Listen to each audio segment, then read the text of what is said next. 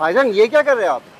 खाउसा बना रहे हैं बस। अच्छा खाओसा तो ये आप मुझे बताओ कि सबसे पहले इसमें क्या करते हैं? सबसे पहले इसमें ये नूडल्स डालेंगे अच्छा सबसे पहले ये स्पैगेटी आ गई है आपने पहले से अ, मतलब बॉईल करके रखी हुई है? ठीक है ठीक है। अच्छा आप मुझे बताओ कि रोज़ाना आपके तकरीबन कितने खाओसे निकल जाते हैं दिन में? यार अल्लाह का शुक्र है यार अच्छा से।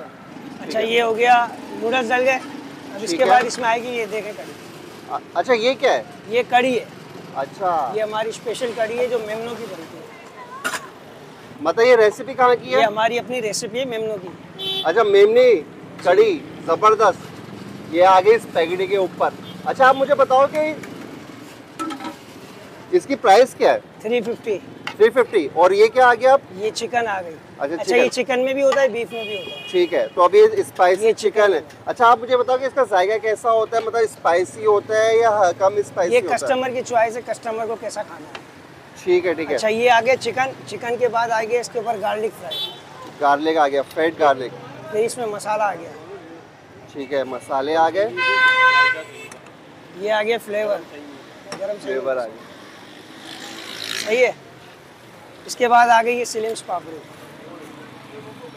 ओए ओए मतलब फुल लोड होने वाली है हमारा ये खाउसा। ये फिर आ गया धनिया और पुदीना। धनिया आ गया। फिर इसके बाद आ गया इसमें लेमन